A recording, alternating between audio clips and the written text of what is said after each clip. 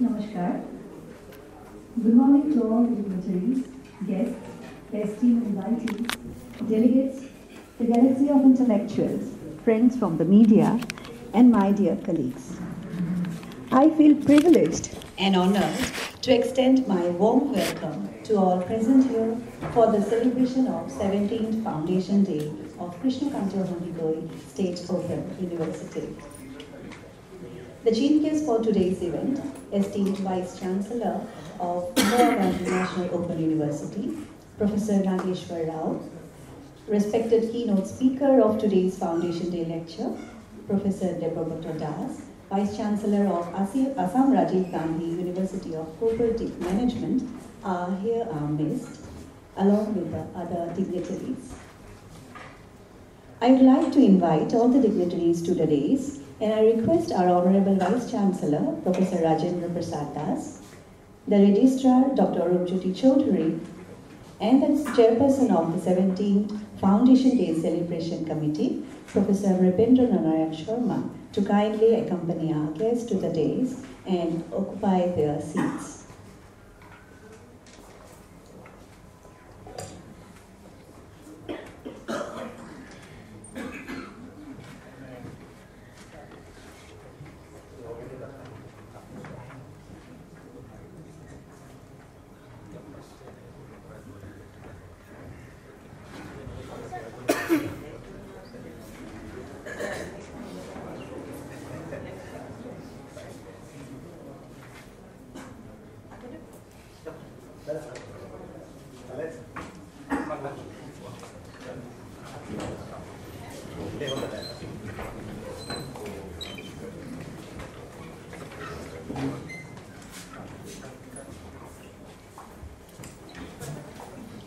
Now, I would like to request all the dignitaries and all present here to kindly rise for the university anthem.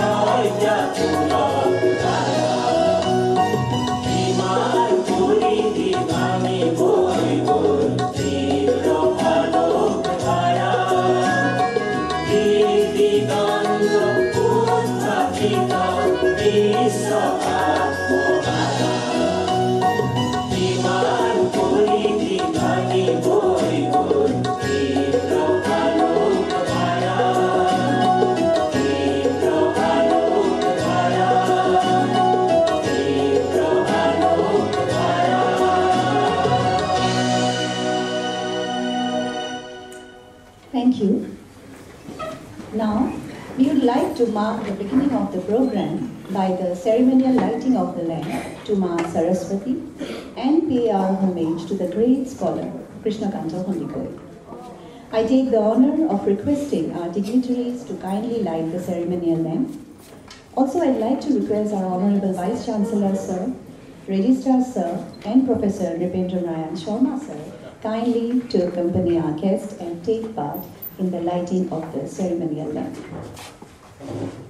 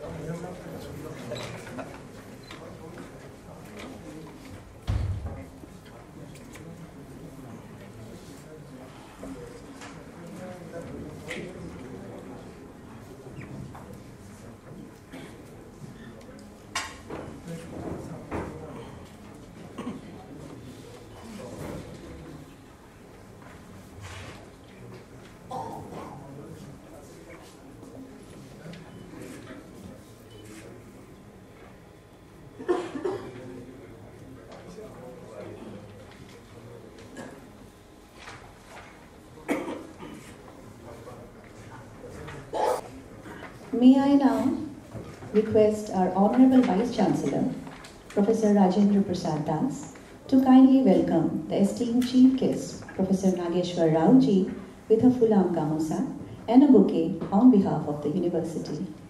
I would like to request Dr. Midusmita Dwara to assist Honorable Vice Chancellor, sir.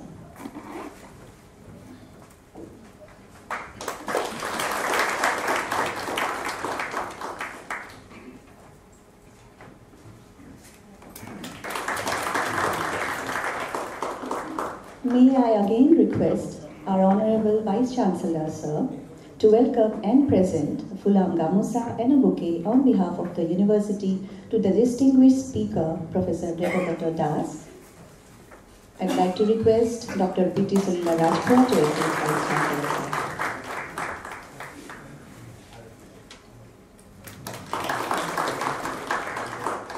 Thank you, sir.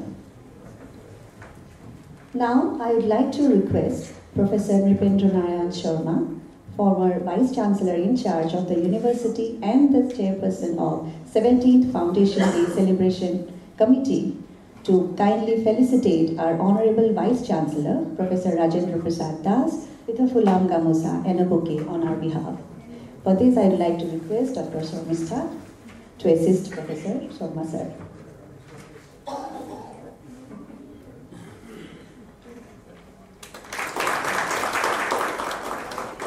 Now, I'd like to request Dr. Rajul Kumar Patuare, the convener of the 17th Foundation Day Celebration Committee, to felicitate the Registrar of the University, Dr.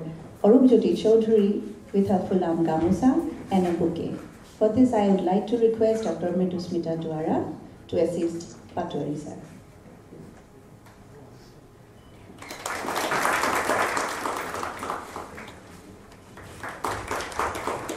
Now, I would like to request Professor Pranjit Bora, Director Padmanath Guhai Purwa School of Humanities, to felicitate Professor Nripendra Narayan Sharma with a fulam gamusa and a bouquet. And for this, I would like to request Dr. Priti Solila Rajkhua to assist Professor Pranjit Bora. Thank you so much.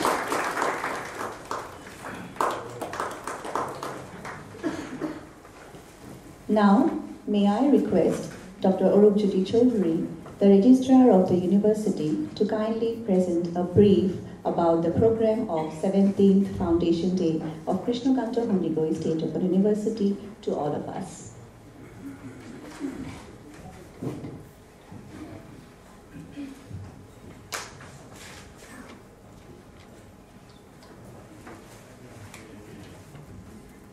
Honorable Vice Chancellor, Chief guest of today's function, Professor Nageshwar Rao, Vice Chancellor Indira Gandhi National Open University, New Delhi, the keynote speaker, Professor Debabrata Das, Vice Chancellor, Assam Rajiv Gandhi University of Cooperative Management, former Vice Chancellors, members of the Board of Management, distinguished guests, ladies and gentlemen present. It's a great pleasure on my part to present before you a brief of the event today. It was probably about 16 years back when the Assamese people were almost busy preparing for their Bogali Bihu delicacies that the government of Assam, taking a leave from the developments elsewhere in the world, as well as in different parts of the country, decided to establish the first ever distance and open learning university in this part of the country. Obviously, when the university was established, one of the fundamental objectives of it was to create an ambience of barrier-free education in this part of the country. At the same time, the university also underlined the need for the enhancement of the gross enrollment ratio. But at the same time, it would be wrong if we underline, if we undermine actually the actual objective of establishing such an institution, that is of establishing equity, fair play, justice, and without discrimination in the society. It is particularly meant for those sections of the students' community who are mainly from the underprivileged section of the society so that they can compete with confidence with the rest who are privileged and fortunate. As you all know, this university is dedicated to the great memory of the great scholar Krishnakanto Handiqui. The very name associated with the university has strengthened our confidence to work for the underprivileged section of the society. Well, right at the moment, we may have a tiny existence. We may be even ordinary at the moment, but we aspire to be extraordinary with your cooperation and blessings. I hope we will definitely secure your blessings and cooperation, and that will help us to achieve the target of becoming one of the best open and distance learning universities in the country. With this, I conclude and thank you once again. Thank you very much. Thank you so much, sir. I'd like to take this opportunity to introduce our Honorable Vice Chancellor, Professor Rajendra Prasad Das, who has joined our university on this day, 11th of October 2022. He has got a vast teaching and administrative experiences, and we are very fortunate to have him to guide us to scale newer heights. As a professor of management, Professor Das, before joining our university, was the senior most pro vice chancellor of Indira Gandhi National Open University for more than three years. Prior to that, he was the vice chancellor of Berhampur University, Berhampur, Odisha. May I now request our Honorable Vice Chancellor, Professor Rajendra Prasad Das, to kindly deliver the welcome address to the august audience. Uh, thank you. Uh, good morning, everybody. मेरा सभी को नमस्कार Our esteemed chief guest, Professor Nageshwar Rao ji, Honorable Vice Chancellor Indira Gandhi National Open University, New Delhi, Professor Debabrata Das, keynote speaker, and the Vice Chancellor of Assam Rajiv Gandhi University of Cooperative Management, our Registrar Dr. Arup Jyoti Chaudhary, Dr. N.N. Sharma, the convener of the program, esteemed members of Board of Management, members of Academic Council, respected former Vice Chancellors Professor Barua and Professor Dekar, respected Madam Rao and Madam Das, center in charges, coordinators of study center, distinguished guests, dear learners, all media friends, ladies and gentlemen. It is indeed a great pleasure and privilege and honor for us to have your gracious presence at the 17th Foundation Day celebration of Krishnakant Handy State Open University. I also consider it a great opportunity on my part to extend you all a very warm welcome to this Foundation Day celebration. Our university was established by the government of Assam by an act of state legislature in the year 2005. It was dedicated and named after a great Indologist of the country, Professor Krishnakant Handy. I take this opportunity to pay our rich tribute to the great soul. In fact, the vision and mission of our university since its inception is to reach the unreached and provide quality higher education at an affordable cost. We are all deeply committed to it and now making no stone unturned to fulfill our vision and mission. It may be mentioned here that in terms of geographical coverages and locations, we have about 27% of the study centers located at Char areas 11% in tea garden areas, 7% in border areas, and uh, 2% in hill districts. It is indicative of our commitment of the university towards the underprivileged sections of society in the state. It is also very happy to share with the August gathering that our university could succeed to motivate more than 54% female learners in the state to enroll in the master's program during the last five years. It is indeed a remarkable achievement for the university in disseminating higher educational opportunity to the women of the state.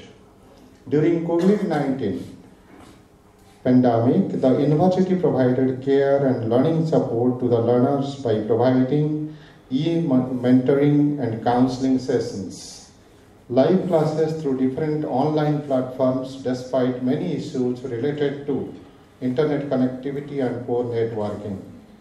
We address all the, those issues with a sense of commitment and hard work. Though we are small and young, but our university is committed towards its social responsibility. We are providing free education to jailmates in the state, different, differently abled and transgendered learners. The university also provides learning materials to visually challenged learners in Braille and audio format free of cost. Our university is also offering various academic programs through YouTube channel of the university. Very active community awareness and educational programs are transmitted throughout, throughout the year by University Community Radio Gyan The LMS, Learning Management System of our university, known as eVidya, helps this open university to play a leading role in terms of online education, content delivery, resource sharing among the educational, educational institutions of the state. Our university has adopted five villages for promotion of education among the youth of those villages in the name of Mother Teresa Social Welfare Mission. The National Education Policy 2020 sets the target of uh, 50% gross enrollment ratio for higher education. The ODL is now receiving increasing attention from the new generation of learners as well as policymakers. Our university is now almost prepared in all respect to play a key role in the state to contribute substantially towards improving the existing GER level of 17.3% of the state. In this academic session, with our planned efforts, By using various social media platforms, our admission figure has crossed more than 34,000. This is the first time highest enrollment in the 16 years of history of our university. The university is going to launch about 50 new academic programs through seven different schools of the university from the next academic session 2023-24. All the academic programs that have been proposed so far are in line with NEP 2020. Out of 15 new programs, seven, seven are master programs, three are bachelor degree programs, nine are diploma programs, and 31 are certificate programs. Now we are prepared to increase our enrollment to 50,000 in the next academic session. Efforts are on to ensure that every learner should receive SLM within two weeks of their admission. A proactive grievance cell is also constituted to solve the grievances of our learners. I wish to share with the August gathering that our Board of Management recently has given us permission to install a full-size bronze statue of the noted Indologist Krishnakant Hande in the university campus, which will be sponsored by a financial institution. To uh, make the, uh, very soon we are also going to appoint a part-time doctor for the benefit of university employees. To meet the recommendation of NAAC, we are also going to lay foundation stone for the residence of Vice Chancellor, Registrar, teachers, officers, and non-teaching staff with a guest house and a hostel in the main campus at Rani. Now all the formalities are in the process of completion. To make the best utilization of the unique location of Rani campus, we are also planning to establish one ODL research center at par with the global standard with, a, with the primary focus on promoting distance education among the tribal. In this context, the efforts are already on and the consult, consultation process is started. I wish to place on record that under the dynamic leadership and efforts and intervention of our Honorable Education Minister, Dr. Peguji, we are now very close to resolve the land, long pending land ownership issue of this, our city campus. Very soon, we may get 42 new faculty and non-teaching posts from the government. We are now conscious and concerned about the quality with our growing quantity. So our effort in this direction is to smooth and fair conduct of examination, which is just started yesterday. A series of steps have been taken for evaluation and result declaration. All these efforts will build the image of the university in the entire northeastern region and the country as a whole. I am confident that with the cooperation and support of our state government and especially the Minister of Education, the vision of the university to reach the unreached with quality and quantity and our dream to be one of the largest and best open universities in the country will be achieved with the passage of time. जय हिंद।